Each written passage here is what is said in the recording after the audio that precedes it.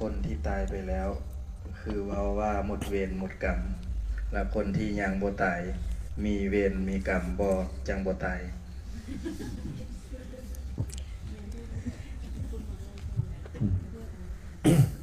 คนที่ตายไปแล้ว คือบอกว่ามืดเว้นมืดกรรมแม่นบ่คนที่ยังอยู่ ยังมีเวรมีกรรมวะอาตมานี่นะ เว้าแล้วเว้าอีกเทื่อใดก็เว้าคำเก่านั่นแหละกรรมแม่นหยังกรรมคือการกระทำแม่นบ่การกระทำทางกายก็เอิ้นว่ากายกรรม การกระทำทางวาจาเอิ้นว่าจีกรรม การคิดทางใจเอิ้นว่ามโนกรรม แต่ว่าจะดีหรือจะชั่วอีกเรื่องนึงแม่นบ่เจตนานั่แหละเจตนาทางกายเอิ้นว่ากายกรรม เจตนาทางวาจาเอิ้นว่าวจีกรรม เจตนาทางใจเอิ้นว่ามโนกรรม แม่นผู้ใดก็สิบ่มีตอนเนี้ยมีหมดแหละทุกคนมีกรรม แต่ว่ากรรมดีหรือกรรมชั่วเว้าดีเป็นกรรมยังกรรมดีคิดดีเป็นกรรมยังเฮ็ดดีเป็นกรรมยังกรรมดีเฮ็ดกันบ่เลยนั่งฟังธรรมนี่เป็นกรรมดีหรือกรรมชั่วก็มีกรรมนั่นแหละพวกเฮานี่นะเนาะมีกรรม และมีเวรบ่ล่ะ เอาอันยังเป็นเวรล่ะ ก็บอกแล้วเด้ว่าเวรมีสองแม่นบ่กรรมเวรกับ คนเวรแม่นบ่กรรมเวรก็คือความชั่วในใจเอิ้นว่ากรรมเวรความโลภความโกรธความหลงความพยาบาทมาดหายความอิจฉาริษยาบังเบียดเอิ้นว่ากรรมเวรเจ้าคิดตนใดเจ้ามีเวรตอนนั้น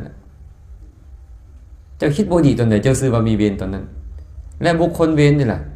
บุคคลเวรจักผู้ใดสั่งเฮาได้เฮาก็บ่ฮู้แม่นบ่บางเทื่อเฮาเฮ็ดดีๆนี่แหละแต่เขาสั่งเฮาเขาผูกเวรเฮาก็มีอยู่แล้วคนผูกเวรนั่นน่ะ บัดนี้เป็นหยังคือบอกว่า ตายไปแล้วหมดเวรหมดกรรมเฮาเว้ากัน ซื่อๆบ่แม่นว่าจะหมดอาตมาเว้าเรื่อยๆเมื่อกี้ก็ตอบเพิ่นแล้วว่าชาติหน้ามีบ่นะคันตายไปจากชาตินี้แล้วนี่นะ เมื่ออย่างคือกิเลสคือตัณหาในใจยังบ่เบิดมันก็ต้องเกิดอีกต่างแต่ว่าเจ้าจะไปเกิดเป็นหยังบัดเนี่ย ใจเจ้าบ่ดีตอนใกล้ตายโดยเฉพาะฆ่าตัวตายนี่นะนรกใด กำเนิดเดรัจฉานใดต้องเกิดอีกแล้วถามมาตอนเจ้าเป็นสัตว์นรกกับเป็นมนุษย์นี่นะ อันไหนทุกข์กว่า มีคนคนหนึ่งเคยมาปรึกษาอาตมาบอกเขาว่าอยากฆ่าตัวตายอาตมาก็เลยบอกให้ฟังว่า โอ้ไม่ออกเอ้ยตากแดดห้อนซื้อไม่ออกกระทนบ่ได้เลยดี คือเขาด่าเขาว่าน่อยนึงไม่ออกทนบ่ได้แล้ว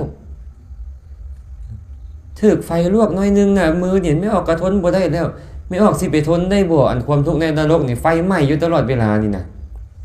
ถึกเขาเอาก้อนไฟเล็กแดงๆยัดเข้าปากไหม้ออกไปฮอดทวารนักพุ่นน่ะ ทนได้บ่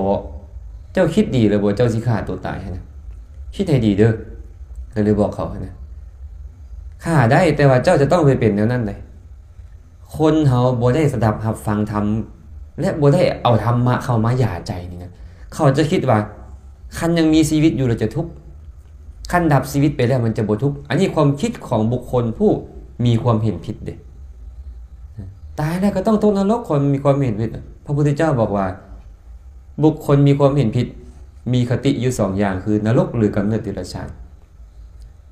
เพราะฉะนั้นตายไปแล้วนี่นะเวรกับบ่ได้หายไปไสเวรกรรมเวรกับนํเข้าไปนั่นแหละแม่นบ่กิเลสมันออกไปจากใจได้เสมอ มันก็นํเจ้าไปเจ้าไปไสมันก็ไปนํไอ้กรรมเวรนี่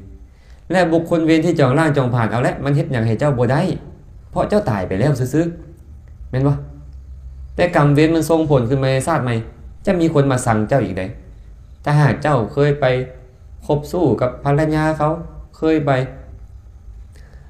ประพฤติผิดในลูกเขา กรรมตัวนั้นนะมันจะส่งผลให้คนอื่นสั่งเจ้านี่นะ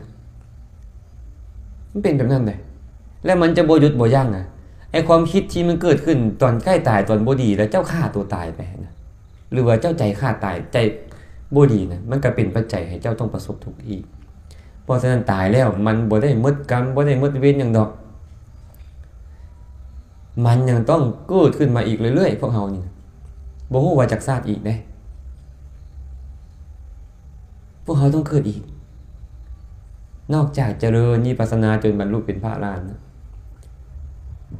พระพุทธเจ้านี่ซื้อว่าหมดเวรบอกถามก่อนมืดเวรบ่พระพุทธเจ้า ตอนที่พระองค์ตัดสรู้แล้วอะฮะมืดเวรบ่กิเลสเวรมืดแล้ว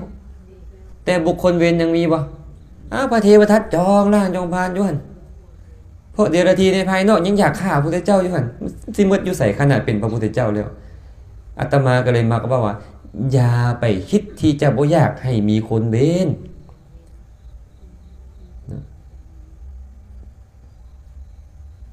มันเป็นไปบ่ได้ขนาดพระพุทธเจ้ายังเฮ็ดบ่ได้อะ ยังมีคนจองเวรอยู่หันน่ะมีแต่จะให้กิเลสเวรในใจเขาเกิดขึ้นก็พอแล้ว เขาจองเวรเขาก็จะคันบุญเขามีเขาก็เฮ็ดอย่างเขาบ่ได้ ให้คิดแบบนั้น